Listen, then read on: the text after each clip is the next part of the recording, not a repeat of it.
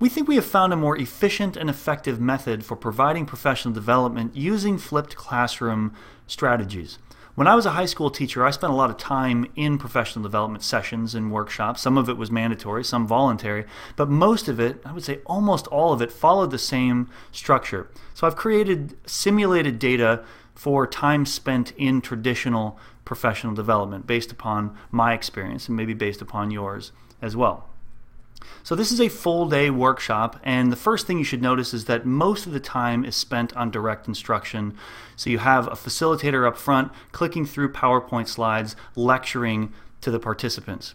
Now, I've been I've heard this called this practice called a number of times for a number of people. I've heard it called death by PowerPoint, just sitting for hours and hours during a day long workshop, listening to somebody talk, click through PowerPoint slides. You'll also see there's some time for directions, some, the facilitator providing directions such as, oh, here's the agenda for the day, here's how, here's how we're going to transition to lunch, here's how we're going to transition to our breaks, so non-content related items, just giving directions to the group.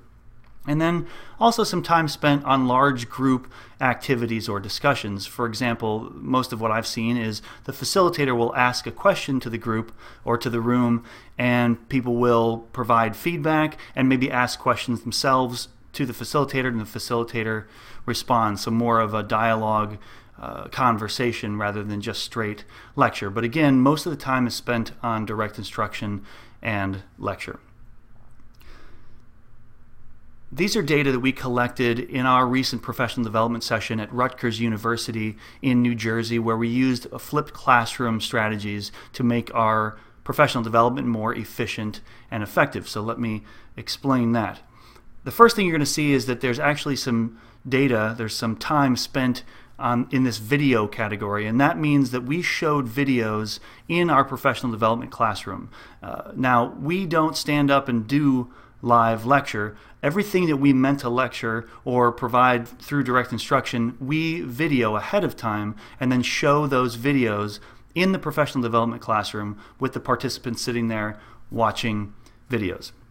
So you'll, also see that there is some direct, direct instruction, and these are uh, short lectures or pieces of direct instruction that we didn't intend to say. Maybe they came up from a series of questions that we felt like, oh, okay, I need to do a 10 minute lecture on this concept, again, which we didn't plan to do ahead of time. Otherwise, we would have created a video to create efficiency. There are still directions. Now you'll see that there's a lot of small group activity where we put participants in groups of three or four after they watch a video, we have them discuss a topic, an idea, and then share out to the large group. So most of our time is being spent in small group and large group activity where we're challenging participants to collaborate, share ideas, and then report out.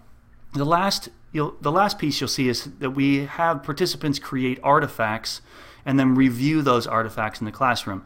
Now, during the small and large group activities, we'll have participants come up with their own ideas, their own strategies, how it can apply to their classroom. And then every once in a while, we'll have them come forward and video record using something simple like a one take video to present their findings so that we can share their findings with them after the session is over. So not only can we provide them with our videos of all the lecture content, but we can provide them with their videos as well, their creations from the day.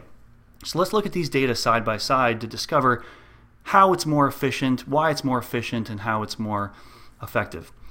Well, it's more efficient because we know that it takes about three times as long to present information in a professional development session live than via video. So, by creating our lecture content, our direct instruction content ahead of time, and playing it in the classroom, it's much more efficient. Again, for every minute of video content that we are presenting, it would have taken about three minutes to present that same information live. So, we're buying efficiency by creating videos ahead of time and showing them in the classroom. Now, again, we have much less direct instruction because we're using videos. We still have time for directions. You'll see small group activity greatly rise. Again, large group activity a little bit more than in the original session.